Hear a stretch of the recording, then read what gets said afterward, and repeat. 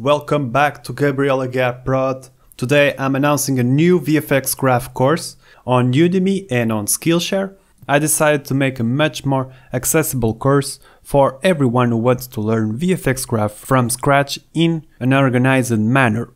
So if you are interested, please click on the links below because they have a nice discount for you. And now I'm gonna play the trailer of the course. I hope you enjoy it. I think it's a course that came out pretty well. It's short and powerful. Enjoy. Hi and welcome. Thank you for joining the beginner to intermediate course about Unity Visual Effect Graph, where we are going to create some sparks to get started and then we will proceed to build these awesome orb explosions. With a few variations. I'm Gabriel Aguiar, your host and founder of the YouTube channel Gabriel Aguiar which focuses on creating visual effects for games.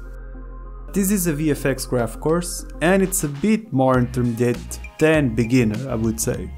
If you are new to this area, I highly recommend you to check out my previous course, the beginner to intermediate level, which will prepare you very well for this one. You will learn about visual effects fundamentals and then proceed to create effects like sparks, an AoE attack, and some projectile effects with their respective impacts.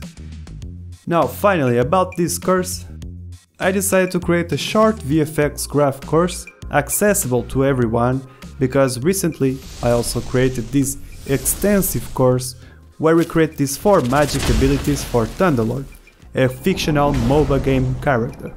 So yeah, it's a really big course and I decided to create this smaller one so you can learn visual effects graph in an organized manner while you create some pretty cool effects too. We are going to use VFX graph, so what better way to start than having an overview of this amazing tool. So if you haven't already, I hope you can join me in this course.